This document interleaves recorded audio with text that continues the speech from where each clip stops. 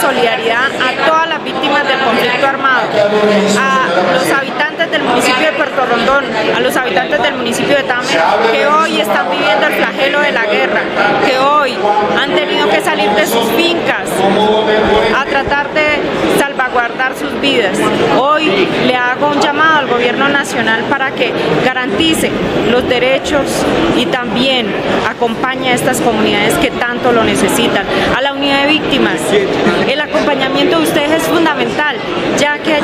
se presentan confinamientos, se presentan también desplazamientos, hay personas asignadas en el internado pues que cuenta con una infraestructura pero no para atender eh, este tipo de emergencias en el cual también están esperando las ayudas de emergencia, en el cual insto a las alcaldías, a la gobernación y por supuesto a la unidad de víctimas nacional para que atiendan de manera inmediata a esta población que hoy sufre y que hoy con dolor en el alma